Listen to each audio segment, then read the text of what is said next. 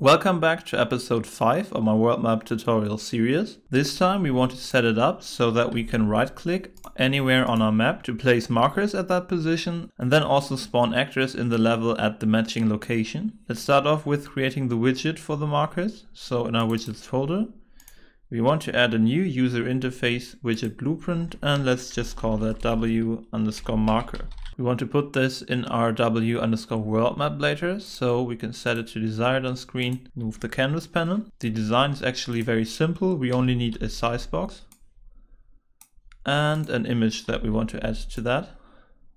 Select the size box and make that a variable. So we will call it marker size box and check the is variable boolean. Then we can hit width and height override and the default size can be something like 48 pixel then you can select your image and that also needs to be a variable. Let's just call it marker. For the image, you will find the icon underscore marker from the asset pack you downloaded. And that's actually already it for the design. Just for a bit of visual appeal, we will add an animation. So when we place a marker, it will slowly focus on the actual spot. Let's hit the animation button and let's just call that fade in and double click it then we've got access to the timeline. And what we want to animate is the render opacity of the marker and the scale. So let's set the scale to 5 and 5 and hit the keyframe button. Then we'll say we'll go to 0.4 seconds. After 0.4 seconds, it should be reset to 1. Hit the keyframe button. And when we start, the render opacity should be 0. Hit the button. And at the end, it will be fully opaque, so 1. Seems like I forgot to set the keyframe at 0 for the render opacity, so just type in 0 again and hit that button. Now if we play that animation, you can see it's slowly focusing on the actual location. Let's compile save, close the widget and reopen it, because playing with the animations sometimes messes up the actual widget. And it did that here, so let's reset the render opacity to 1. That's it already for all of the visual stuff. So let's head over to the graph and we need a couple of variables. So first off, we will keep track of the size. This time we don't have to use a vector 2D because the icon here is put in a square shape. So 48 by 48 means it would be enough to keep track of one size. Let's make that an integer and private. Then we add another variable and that will be the index which we will later use to identify which of the markers this widget is used for. Make it editable and exposed on spawn. We also need a color. So later we can have differently colored markers. Type of that is linear color, editable, exposed on spawn. And the last thing we need is a reference to the map. So let's just call it map reference. And the type here will be a BPC world map object reference. Also editable and exposed on spawn.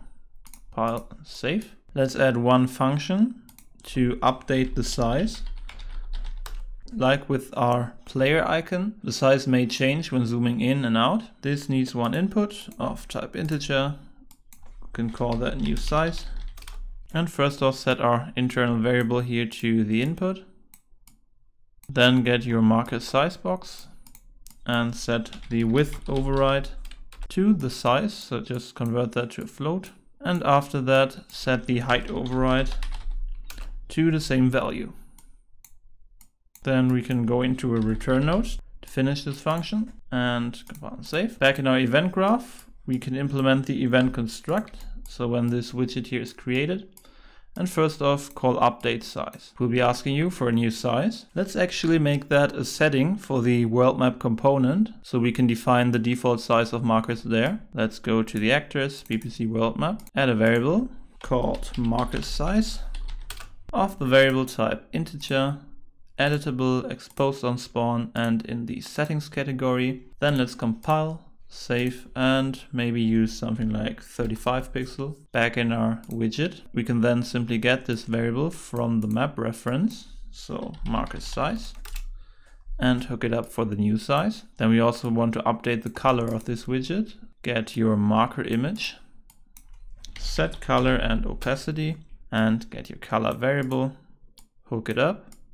Then once everything is set up here, we can play an animation and that will be our fade in animation.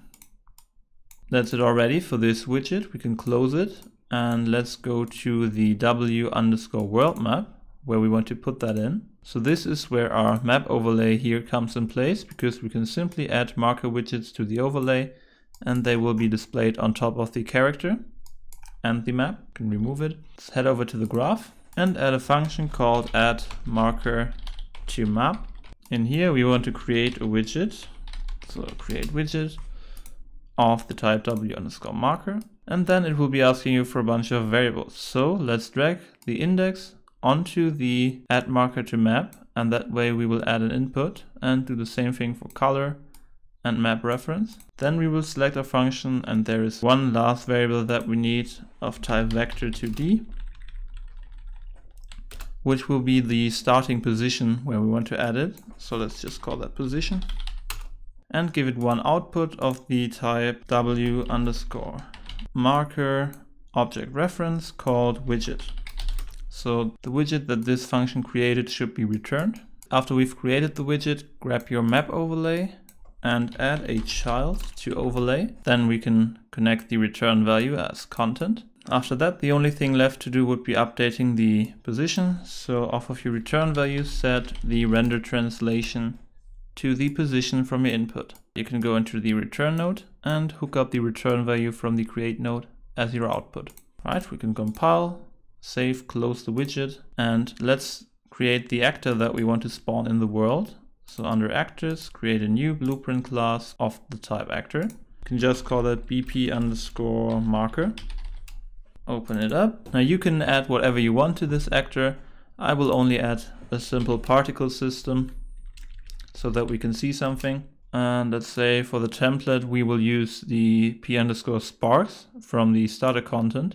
And let's scale that up by a bit so we can hit the padlock here and enter a 3 to increase the size. And I just figured out that a location of minus 30 works pretty well when we add it to the level later. Right, for me that's already enough. Let's compile, save and close this actor. Before we figure out a way to store all of the current markers in our BPC world map, let's say we want to combine all of the important variables for a marker in a structure. Go to world map system and we'll create a new folder for structures.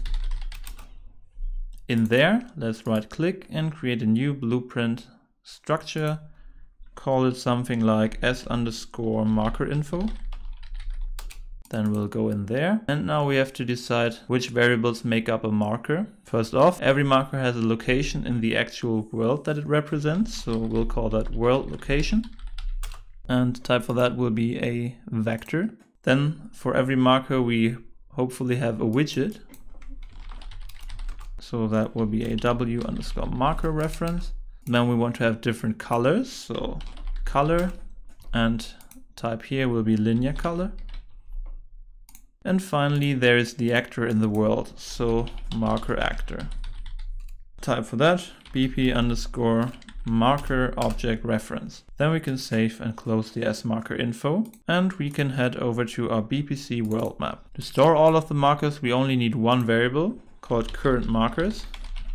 Type here will be the structure we created so S underscore marker info and of course this needs to be an array because we can store more than one marker at a time and let's make this private. Then we need a function here to add marker which would require one input of our structure. So s underscore marker info, call this something like marker to add or just marker. We will grab our array and add an element, hook up the input. Then let's grab the output integer here, that is the index, so promote a local variable called local index.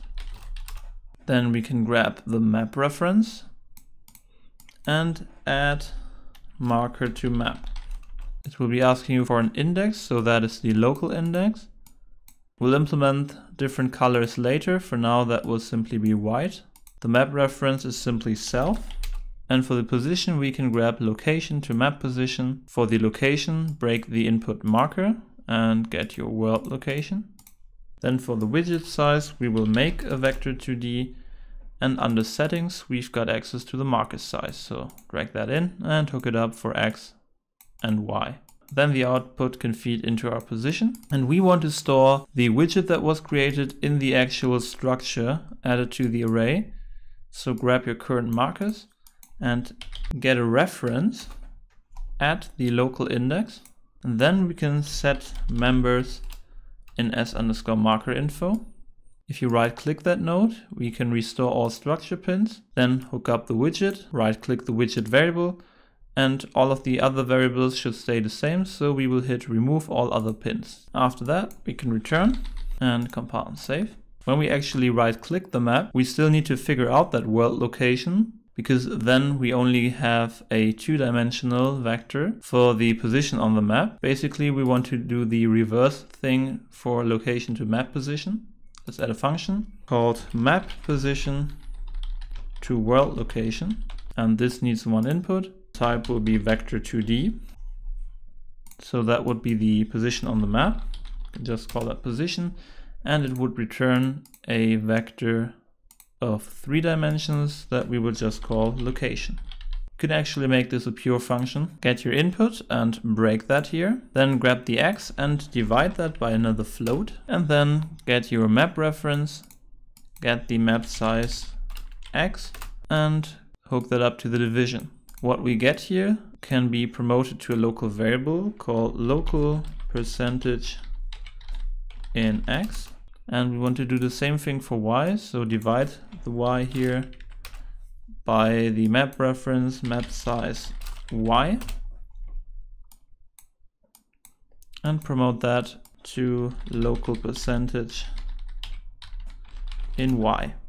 Set it right after the x. Then we can split the out vector and we can leave z at zero because we haven't got information about that. But for x and y, we can figure these out with the local percentages here. So let's drag in the upper left corner, get the actor location, and we want to break that, figure out the x, we'll get the x here and subtract from that. Then get the map height and multiply that by another float which will be the local percentage in y.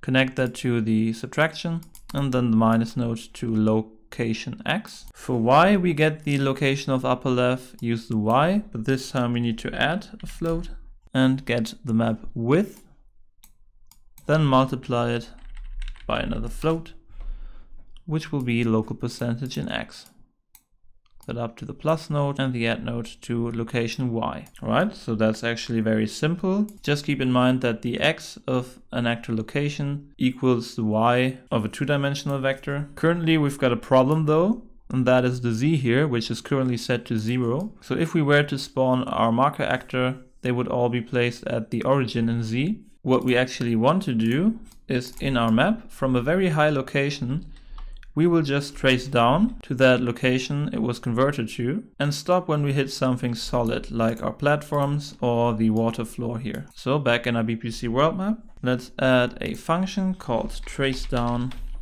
world location. Can also make this pure. It takes in one vector and also puts out a vector. You can just call these in and out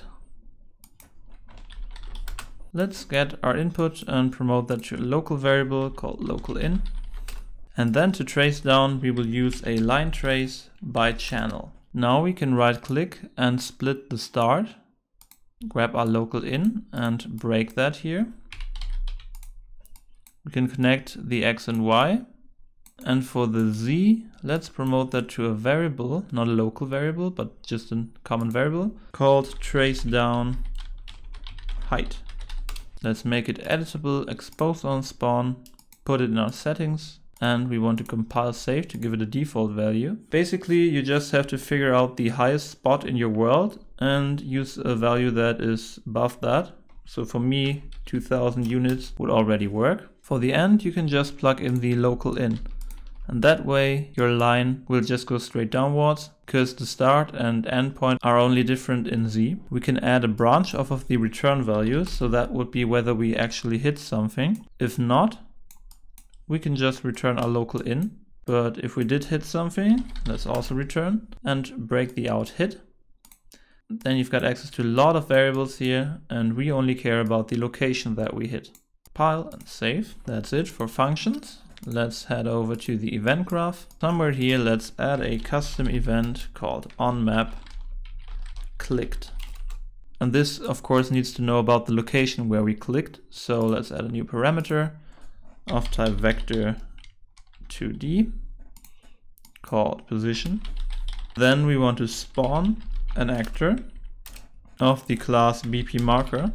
After that, let's right click the spawn transform. So we have access to location, rotation and scale. And for the location, we'll convert a map to position to world location, hook up the input, and then also trace down the world location and connect the location as the input. Then we can use the out for the location of our created actor. After that, we can call add marker. Let's split the struct pin and hook up the location from our trace down world location. Then the return value as the marker actor. Marker widget can leave empty. And here let's select white as the color with an alpha of 1. And I actually made a mistake because in our add marker function, we should just use the color of the input marker. So show the color here and hook that up. That way we can just define the color in our event here and not in the function. That's everything for our component. We need to call this event somehow. That we can only do from the actual world map widget. If we head over to the graph, under mouse we already implemented on mouse button down. Currently we're just checking for the left mouse button. So before we do anything in here, let's add a branch off of your mouse event called is mouse button down. And this time we can use the right mouse button. That up to the branch. Only if it's false we will proceed with the other branch. But if it's true, let's set the LMB down to false. And then get our map reference and call on map clicked for the position here, we will get the mouse event and get the current screen space position. Then grab the my geometry and we want to convert absolute to local. The absolute coordinates being the screen space position. After that, we also want to subtract something from that. So vector minus vector. And that would be the map overlays render translation that we can change when zooming in and moving the map. So get render transform and break it, then only show the translation and plug that in for the minus. Then that can go into our position and after that we can return and say that this function was handled. Let's compile and save. Let's play and hit M to open up our map. Now I can right click somewhere. You see there is a white marker now and if we move to that location there are some sparks Actually, it looks like they are put somewhere in that platform. So that will be our actors BP marker viewport and then reset the location in Z to zero maybe. Check whether that's now working. So I hit M, right click somewhere. Yep. Now we see the actor appearing here and there is a marker on our world map at the exact location. We can right click as many times as we want and add more of these markers and particle systems in our world. Right now, however, there is a list of problems. For example, we cannot remove these markers. Can right click them and we will just spawn new markers, but won't remove old ones. Also, they currently all have the same color, which is just white. So that is something to change. And there is an infinite amount of markers possible right now. There is no maximum, which you usually have in games. And the last issue would be that when we zoom in, all of the positions are messed up and are no longer correct. So all of these problems will be tackled in the next episode and this is the end of this video, so see you in the next one.